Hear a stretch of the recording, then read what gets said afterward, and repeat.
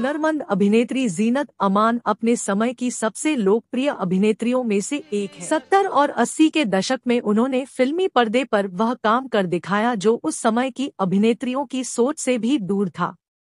फ़िल्मों में कदम रखने के बाद जीनत ने महिलाओं के लिए बनी सारी रूढ़िवादिताएँ तोड़ी और अपनी एक अलग पहचान बनाई।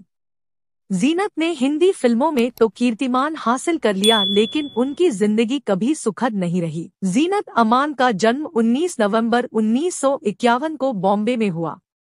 उनकी माता एक महाराष्ट्रियन ब्राह्मण थी और उनके पिता अमानुल्लाह खान भोपाल के राजसी परिवार से थे। अमानुल्लाह खान ने दूसरे लेखकों के साथ मिलकर मुगल आज़म और पाकिजा जैसी फ़िल्मों की पटकथाएँ में लिखी एक लेखक के रूप में उन्होंने अपना नाम अमान रख रखा था। जीनत अमान का असली नाम तो जीनत खान है, लेकिन फ़िल्मों में कदम रखने से पहले जीनत ने अपने पिता का यह लेखक वाला उपनाम अपने नाम के साथ जोड़ लिया था।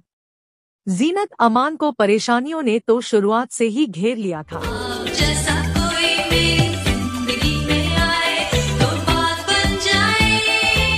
समय वह बहुत छोटी थी तब उनके माता पिता का किन्हीं कारणों से तलाक हो गया।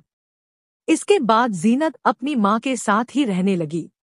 उस वक्त जीनत कोई तेरह साल की रही होंगी जब उनके पिता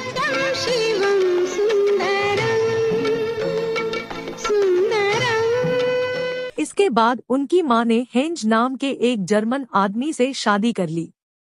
जीनत और उनकी माँ दोनों जर्मनी चली गए और इसी के साथ इन दोनों को जर्मनी की नागरिकता भी मिल गई। जीनत के पास अब भारत के अलावा जर्मनी की भी नागरिकता है। जीनत अमान का बचपन ही उथल पुथल से भरा रहा, इसलिए उनकी शिक्षा दीक्षा भी अलग अलग जगहों पर हुई। शुरुआती जीवन जीनत का देश में ही बीता, इसलिए उनकी प्राथमिक शिक्षा मुंबई के पास पंचगनी में ही हुई।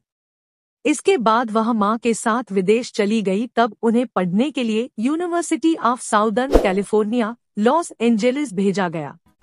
जीनत वहाँ अपनी स्नातक की पढ़ाई पूरी करने गई। हालाँकि उन्होंने अपनी पढ़ाई पूरी की ही नहीं। जीनत अमान बचपन से ही अलग अलग जगहों पर रही है, इसलिए वह अपने भविष्य के बारे में कुछ सोच ही नहीं। मैंने पूछा, चाँद से कि देखा है कहीं? अपने बचपन में पता ही नहीं था कि आखिर बड़े होकर उन्हें करना क्या है। एक बात ज़रूर थी कि अपनी पारिवारिक दिक्कतों के बावजूद उन्होंने अलग अलग जगहों की संस्कृति और रीति रिवाज देखे, जिससे वह दुनियादारी समझने लगी थी। अपनी स्नातक की पढ़ाई पूरी नहीं कर पाने के बावजूद वह देश वापस लौटी और फेमिना मैगजीन के लिए लिखने का काम करने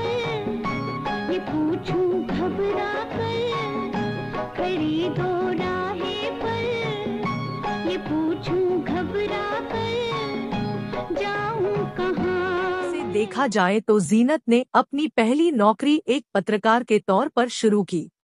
फेमिना जैसी फ़ैशन मैगजीन में काम करते हुए जीनत अमान को खुद भी फ़ैशन इंडस्ट्री में उतरने की चाहत हुई। उन्होंने यहीं से मॉडलिंग शुरू कर दी।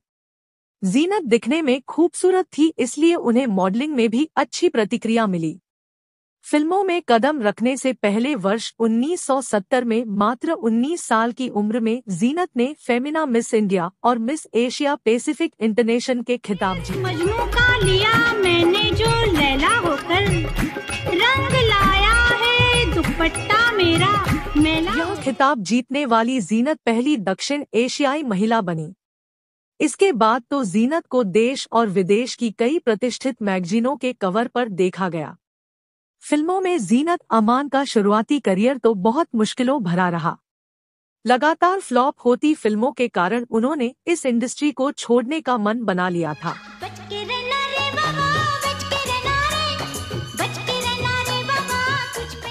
लेकिन जब उन्हें देव आनंद के साथ हरे रामा हरे कृष्णा में काम करने का मौका मिला तो उनका मन बदल गया।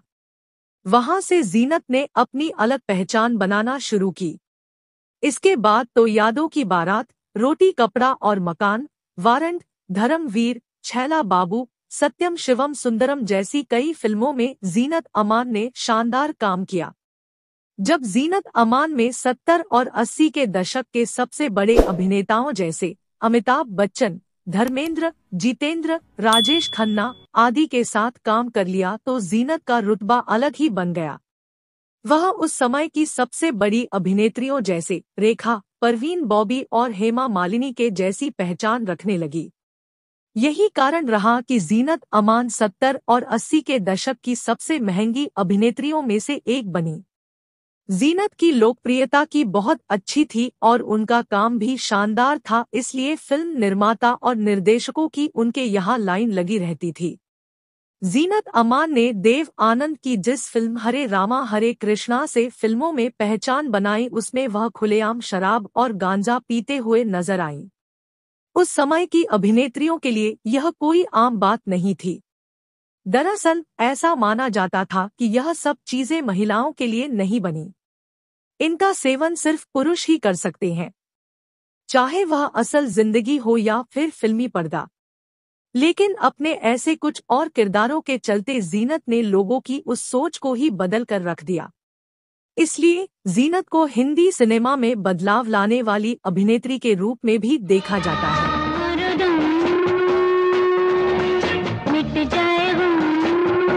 अपने करियर की एक फ़िल्म अब्दुल्ला में जीनत अमान ने संजय खान के साथ काम किया है।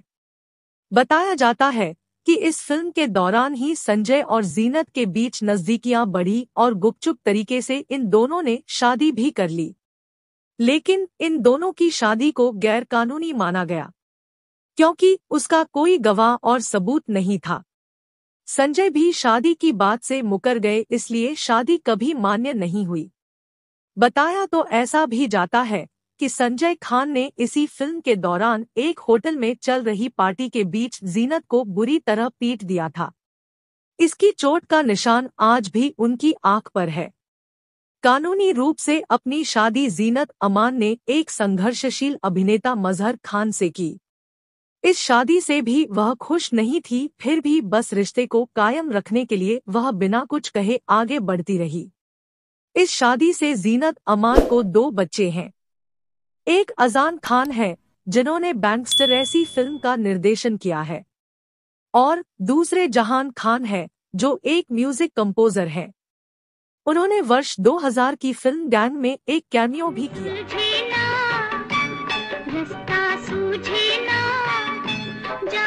शादी के तेरह वर्ष बाद जब मजहर खान की मौत हो गई तब से जीनत अपने बच्चों के साथ ही रहती है।